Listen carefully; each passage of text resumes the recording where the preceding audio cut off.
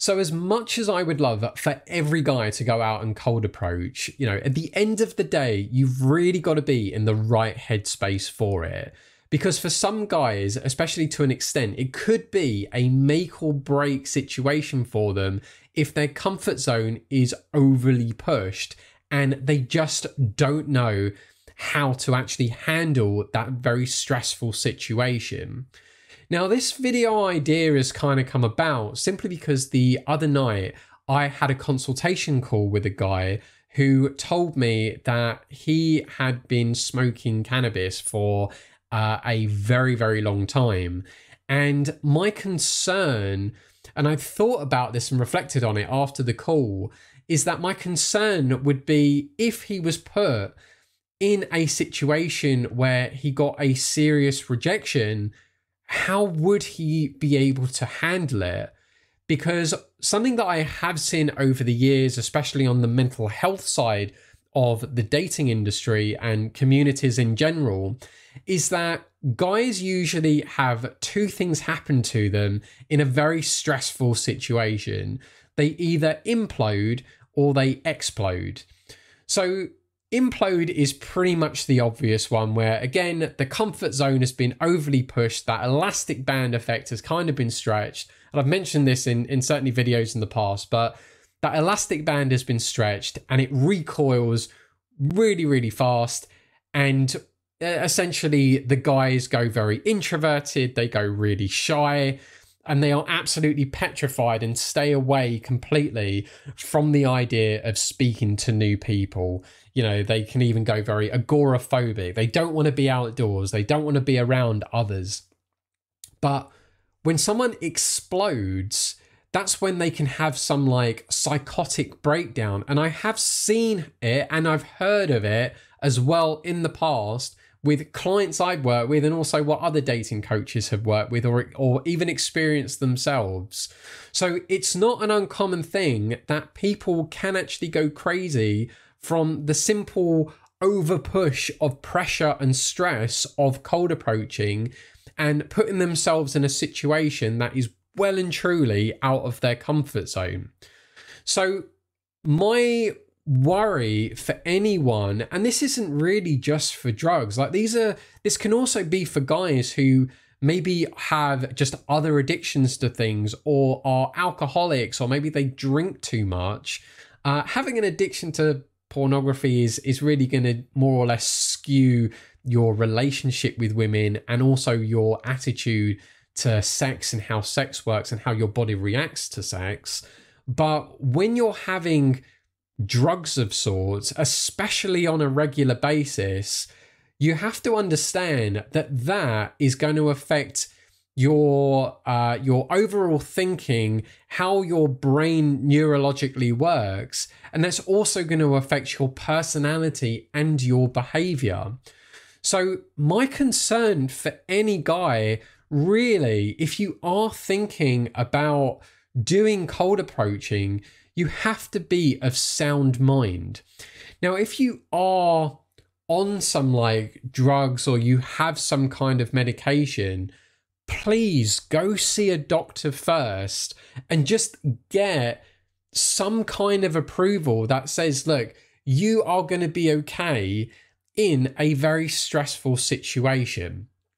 So, something that I make sure that I do with clients, if I do believe that they aren't potentially, and it wouldn't be fair for me to say that they that they do have some problem, but if they potentially have some mental disorder or issue going on that maybe is covered up by, uh, well, they have a trauma or an anxiety that is covered up by an addiction to drinking or drugs or just alcohol in general, then I'm gonna or or I will refer you to go and see a doctor first to get the approval from them that you are okay to go out and do cold approach.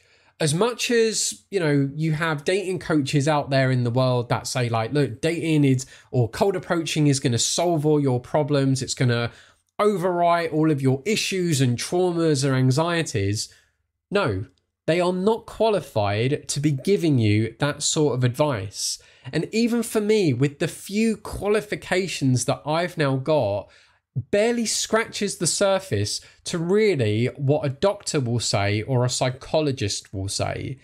If they don't believe that you are capable of handling such stressful situations of going out on the street and speaking to women and having that pressure of where you might have the spotlight effect on you or it is so far out of your comfort zone please get their recommendation first before you then go to a dating coach or even to me to then work on this. We need the approval of a medical professional to say that you are of sound mind and that you would be okay to be in this sort of thing. Please do not put yourself out there if you haven't yet got that second opinion because I don't want you to have a potential situation play out where you could have a psychotic episode because it's happened again to people in the past. I can't recall now if I've actually said this already, but it has happened to people in the past and it could happen to you. It can happen to someone even more so statistically if they have been on drugs or on a lot of alcohol and that is flowing through their system. So please, if you are thinking about doing cold approaching, please be in a good place first. If you've got traumas, if you've had bad experiences of things that have happened in you in the past, that can be worked on. But my concern, and this is kind of one of the things that I filter out in the client form that I get people to send me, if there is something there that I believe I need you to get approval from a medical expert first. I'm not saying that to be harsh or rude or blunt or whatever. I'm saying it for your well being. And I'm also saying it for the well being of other people that you meet and also for yourself as well. So, please take this into consideration if you have some kind of like mental disorder or mental condition or perhaps maybe you do have an addiction to drugs or alcohol you know we'll ignore for the moment like if you've got traumas and stuff that can be worked on that i can certainly help with.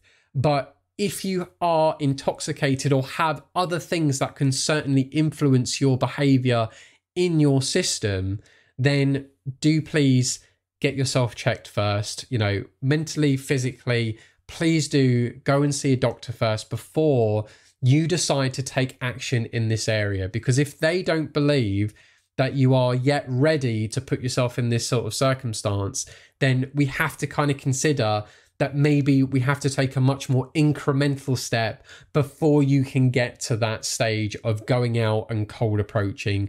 Or perhaps maybe there are just other or better alternatives for you to be considering that are going to be a lot less stressful too.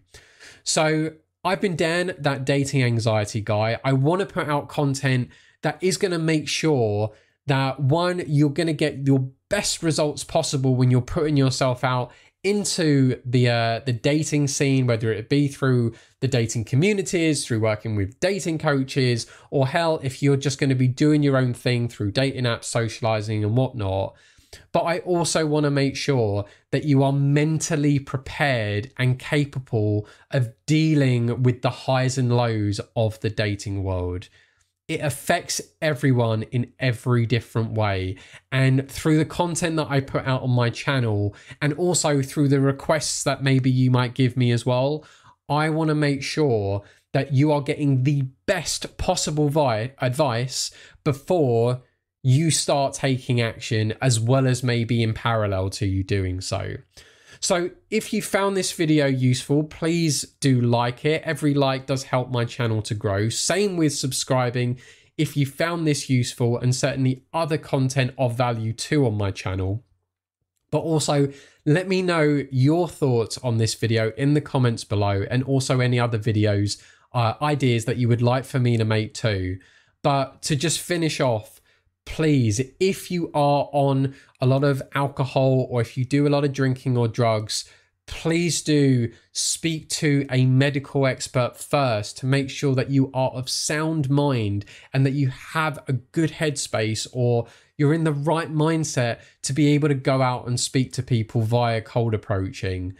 I personally, and this isn't uh, medical advice, but I personally think you do need to wean yourself off of any sort of like alcohol or intense level of drinking or drugs that you might be on to at least be in a good place to be speaking to people.